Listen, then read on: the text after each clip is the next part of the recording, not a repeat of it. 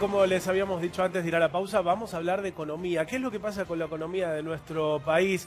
Finalmente llegarán las inversiones, están los brotes verdes, va a mejorar la economía, baja o no baja la inflación. Algunas de las preguntas que le vamos a hacer a nuestros invitados en el día de hoy. ¿eh? ¿Tendrán la respuesta a todo eso? Será difícil. ¿eh? Vamos a presentarlos con nosotros Gabriel Solano e Iván Carrino, que son economistas. Gracias a los dos por estar acá. ¿eh? Hola, ¿cómo te va? Bueno, empiezo disparando parte de lo, de lo que preguntaba recién, ¿no? Eh, y, les pregunto, ¿se están viendo realmente los brotes verdes en algunos sectores de la economía? Si uno mira los números oficiales, es claro que no. Es claro que no. Hay un retroceso de la producción industrial en el mes de febrero, de las ventas, de la construcción. Y cuando se habla del PBI, que a veces se, se quiere mostrar un número de crecimiento ínfimo, hay que tener cuidado porque el PBI mide diferentes eh, medidas. Por ejemplo, también está la intermediación financiera y eso no produce ningún puesto de trabajo, ni tampoco distribuye ningún beneficio. Tenemos una contracción económica y tenemos un crecimiento de la pobreza, lo han marcado también números oficiales como lo de la UCA, una caída del salario y por lo tanto la capacidad adquisitiva del salario para poder incrementar las ventas. Y esto es el propósito de un plan político y económico. No es que uno dice el gobierno hay inflación porque no tiene otra medida. No, el gobierno lo está impulsando. Ahora tenemos un nuevo tarifazo, recién lo estaban comentando. Un tarifazo fuerte que abarca diferentes servicios y que se ha hecho en cuotas para poderle eh, poner a los docentes una paritaria baja, diciendo, si yo ponía ahora un tarifazo al gas del 250%, difícilmente podía cerrar una paritaria a los docentes en el 18-19%. Entonces, ¿qué dijeron? Hacemos tres cuotas. Abril, noviembre, abril. Lo mismo van a hacer eh, con el transporte que se pasa para después de las elecciones. Es decir, que ya tenemos una inflación ahora que ronda el 2 y pico mensual, con lo cual va a totalizar en el año arriba del 25%, contra una paritaria del 19, del 20%, si uno ve lo que firmó Cavalieri, un gremio muy importante como el de comercio, 20%, o sea, pierde 5 puntos, y ya dicen que después de las elecciones vienen más tarifazos, al transporte, al gas, a la electricidad y al agua. Entonces la política eh, eh, que lleva a un crecimiento de los precios es impulsada por el gobierno. Lo es por la devaluación monetaria que se hizo, lo es por la quita de retenciones y lo es por los tarifazos. Si uno toma todas esas medidas, inevitablemente tiene que producir un salto inflacionario que perjudica al trabajador y beneficia, porque acá no es que nadie se beneficia, acá se beneficia la gente. Los dueños de las empresas privatizadas están ganando, el capital agrario está ganando con la quita de retenciones, los exportadores se benefician con la devaluación, por lo tanto las medidas económicas significan una distribución del ingreso de los trabajadores a los sectores capitalistas. Esa transferencia de ingresos ha sido muy importante en los 15 meses de gobierno de Macri. Yo le pregunto, perdón, eh, permíteme preguntarle, Iván, todo lo que él ha enumerado refiere a un proyecto distinto del que hubo en los últimos años. Entonces, uno quiere suponer que el fin no es generar más pobreza, más desempleo, que caigan todos los indicadores. Entonces, con todas esas medidas, ¿qué es lo que están buscando? No, tampoco quiero hacer una interpretación de, de qué se busca, pero también lo que pasa es que yo discrepo con alguna de, bueno, con todo lo que dijo Gabriel, ¿no? Es decir, me parece que hay una cuestión que es de largo plazo y es Argentina es un país pobre. Aunque nos, parezca que no, Argentina es un país pobre, es un país empobrecido. Éramos uno de los países, 10 primeros países del mundo, hoy somos un país del el puesto 50 al 60 de la tabla de países del mundo. Es decir, nos caímos de, de la carecita. Tenemos pobreza, tenemos inflación, teníamos controles de precios por todos lados. Mal, esa es la mirada de largo plazo. Argentina está mal y hay que hacer muchos cambios para que Argentina esté mejor. Muchos cambios en la política económica para que esté mejor. En la mirada de corto plazo, el año pasado fue malo porque hubo que destapar la olla que estaba hirviendo y que iba a explotar. Destapaste la olla y se reconoció la realidad. Cayó el salario real, cayó la economía y demás. Ahora, a partir del segundo semestre, que tanto se habló del segundo semestre, se paró la caída y empezás a ver números mejores. Por ejemplo, hasta en términos de empleo. O sea, en términos de empleo todavía no recuperaste el empleo que había en diciembre de 2015, pero a partir de julio se crearon en el sector privado formal 70.000 empleos nuevos. ¿Quién encabeza esa, esa creación de empleo? El sector de comercio, el sector inmobiliario. Fíjate ahí que sacaste el cepo y cómo se está retirando el sector inmobiliario. También le está yendo bien al sector agrícola, al que le bajaste los impuestos. Es decir, cuando haces las cosas, tienen ciertos ¿El buenos sector inmobiliario resultados. se reactivó porque sacaron el cepo o se reactivó porque hicieron un blanqueo enorme? No, te diría que es porque sacaron el cepo y desde que empezó a haber expectativas de que iban a sacar el cepo. Porque el blanqueo es de, muy, es de los últimos dos, tres meses y esto viene recuperándose hasta incluso antes de salir del cepo, viene cambiando la curva. Entonces, estamos de corto plazo en una situación un poco mejor. Yo creo que hay que hacer muchas más reformas, ¿sí? En el sentido de darle libertad al sector privado para que produzca y nos enriquezca a todos, ¿sí? Pero de corto plazo tenés una recuperación. Era inevitable, después de una caída tan fuerte ibas a rebotar. Pero además hubo ciertas medidas que hacen que la economía recupere. Gabriel. A ver, primero, digo, volvamos a los números que existen. Todas las estadísticas marcan que en febrero cayó la producción industrial, la construcción y las ventas. Esto es lo que da. De febrero está relación. viendo un mes nada más. No, no, no. De febrero relación a enero. Y Claro, enero de sí. 2016, 17, perdón, se compara con enero del 2016, que fue un desastre. Es decir, comparado con números ya muy malos, estamos peor. Con números muy malos, porque como la comparación puede ser interanual, es decir, enero contra enero o enero contra diciembre, es decir, con el mes precedente, en los dos lugares marca una caída. Ahora, veamos los puntos. Cuando el gobierno dice que hay una reactivación, acá se hablaba de la cuestión inmobiliaria, lo que está viendo es una enorme dificultad para que una persona pueda acceder a una vivienda. Porque este blanqueo que acá se citaba, según dicen los diarios económicos, va a llevar a que en un plazo muy corto se incrementen los costos de las propiedades en 10%. Propiedades que Pero ya... ahora subieron los créditos. Digo, antes no había posibilidad de crédito y hoy hay posibilidad de crédito. Los créditos que vamos a ver, todavía la mayoría de los créditos que se anunciaron no se han implementado. Y la posibilidad de un trabajador que hoy tiene un salario de 14 mil, de 15 mil pesos, y no todo el mundo lo tiene, porque a un docente se le está ofreciendo ahora un, cuotas de 4,5% trimestrales cuando están ganando 9.500 pesos, 10.000 pesos. Todos esos trabajadores no pueden acreditar para un crédito hipotecario. Y la posibilidad de acceder a una vivienda se ha dificultado mucho. Pero ellos podrían entrar por procrear. Bueno, vamos a ver. Vamos a ver qué pasa con el procrear, porque todavía no está implementado nada y se ha anunciado muchas veces. Ahora, este blanqueo que. Es, el blanqueo es interesante para mí por parte del gobierno. El gobierno dijo que fue el éxito más grande de la historia. Sin embargo, el 80%, el 80% de lo que se blanqueó quedó afuera. Es decir, siendo que. mire, ¿Quedó si te- afuera o vino de afuera? No, no, bueno, están, estaba afuera. Declarado afuera. Estaba afuera, pero no es que se, eh, se declaró y esa plata ingresó al país.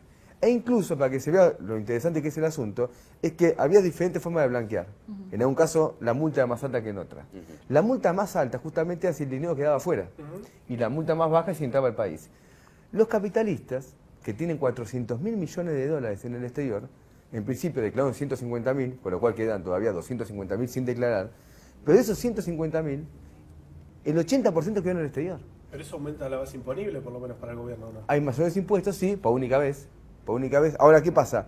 Quiere decir que ni siquiera los capitalistas que apoyan a Macri tienen confianza en Macri, porque la plata no vino a Argentina. Y encima produjo, artificialmente, una revaluación del tipo de cambio del peso frente al dólar, lo cual está agravando la recesión económica. Porque Argentina se ha endeudado solamente, eh, cuando decía hay que volver a los mercados, si uno ve de los 15 meses de gobierno de Macri, la deuda creció aproximadamente en 70 mil millones de dólares. Y de esos 70 mil millones, una parte considerable ya se fue. ¿Y por qué digo que ya se fue? Porque uno se puede endeudar. Hagamos un- una idea, nosotros. uno se endeuda y se compra una casa. Bueno, yo tengo una deuda que pagar, pero tengo un activo, tengo mi casa. Si yo me endeudo y esa plata, 20 mil millones, vuelven a salir, quiere decir que contra, cuando tengo que cancelar esta deuda, es el capital más el beneficio que generó, pero la guita ya se fue. No tengo, es como si yo me endeudo y me la gasto en el casino. ¿Cómo pago después esa deuda? De ese modo Argentina prepara inevitablemente una nueva bancarrota, como la que hemos tenido al final de cada ciclo económico cada 10 años en Argentina.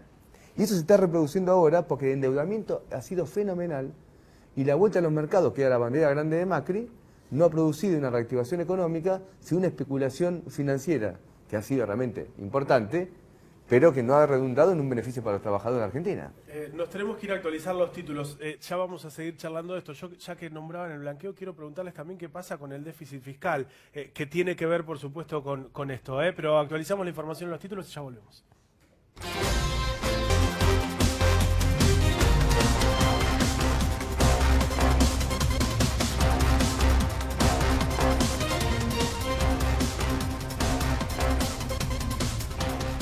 Bien, vamos a seguir hablando ¿eh? sobre este debate que sigue en el corte, sigue Sí, en, los títulos, es, es muy interesante. Eh, estamos hablando de por qué no llegaban las inversiones, qué pasaba con el dinero del blanqueo, y hay otro dato que no es menor y que tiene que ver otra vez con los bonos, ¿no? El- los LEVAC, eh, y otra vez la intervención del Banco Central en ese sentido. Eh, digamos, cuando se suben las tasas para que la gente apueste a esos bonos, lo que se está haciendo es, de alguna manera, tomar esos pesos, pero por otro lado, se hace tentador y esos pesos no van a inversión. ¿Por qué otra vez esa estrategia en el segundo año de gobierno? No, a ver, lo que está pasando ahí es que hay un objetivo de inflación que es el 17%, sigue la meta de- del Banco Central, y al mismo tiempo, digamos, el gobierno tiene que sincerar algunos precios. Digamos, el año pasado la idea era hacer un ajuste en las tarifas y demás, pero hubo un, frenazo judicial que hizo que la cosa se tuviera que hacer gradualmente. Cuando vos haces las cosas gradualmente, todos los años te llega la mala noticia de que vas a ajustar las tarifas mucho más de lo que suba la inflación. Ahora, eso tiene un impacto en el IPC y en la canasta y en el bolsillo de todos, y que puede hacer es que se te comprometa la meta de inflación. Entonces, lo que tiene que hacer el Banco Central es operar en el mercado de la moneda, el mercado monetario, subiendo la tasa para sacar pesos de- del mercado. ¿eh? Para preservar el valor de la moneda y tratar de cumplir la meta. O sea, pero son cosas como que van por eh, canales diferentes. Con esto bajás la inflación. Y bajar la inflación te genera más consumo por un lado, en la medida que los salarios avanzan. De hecho, es un dato que quería decir antes, de julio a diciembre tuviste un crecimiento del 6% del salario real, ¿sí? porque el salario le ganó la inflación. Pero es una recuperación después de la caída. Pero lo segundo que genera la, baja de la inflación, o sea que está muy bien que el Banco Central se comprometa a bajar la inflación y no titubee con estas cosas, es que da muchos mejores eh, horizontes para los inversores. Los inversores, digo, el tipo que te compra un bono, pero el tipo que dice voy a abrir un local en la calle tal, ¿sí? O me voy a poner una empresa, me voy a poner una fábrica o voy a poner un negocio de diseño, ¿sí? En un sector de servicios. Cuando vos tenés menos inflación hay muchas más perspectivas y la gente se anima, hay estabilidad. Entonces, subís la tasa, ¿eso es malo? Puede que a corto plazo tengas un mal efecto sobre la actividad, pero en el mediano tenés mejores eh, incentivos para invertir y producir. Entonces, esa es la idea de, de esta movida del Banco Central, ¿no? Las metas de inflación en Argentina históricamente fueron la excusa o la forma ideológica que se presentó entregarle tasas de interés altísimas al capital financiero. Pero no son altísimas. Sí, sí, por supuesto, sí. Si vos decís que la inflación es 25, la no, tasa no, 22, no, no, es negativa. Pero, pero vos sabés muy bien lo siguiente, miren, si hago un- es un poquito complejo, pero si lo explico me van a entender. Fácil. Sí, no, no, pero para que se entienda, 24% más o menos es la tasa del Banco Central. Entonces uno dice, Sí. Uno dice lo siguiente, la inflación es 24, entonces tasa cero. ¿Dónde está el efecto de ese, inter- de ese razonamiento? Que como el dólar se mantiene a un precio estable e incluso bajó en los últimos meses, la tasa de interés de pesos se traslada al dólar. Entonces tenemos en el último periodo una tasa de interés en dólares del 24% anual No existe creo que en ningún lugar en del ningún mundo, lugar ¿no? del mundo de la galaxia. ¿Se entiende? Entonces se produce el siguiente fenómeno. Uno pide guita afuera, que se llama, eh, hay un mecanismo, que la guita entra a Argentina a especular a corto plazo con esa tasa de interés. Porque yo la pido, por ejemplo, en otros lugares, a tasa negativa. Hay 10 billones de dólares que están invertidos en tasa negativa. Si yo esa plata la pido a un banco prestada y la traigo acá, obtengo un beneficio del 24% anual en dólares.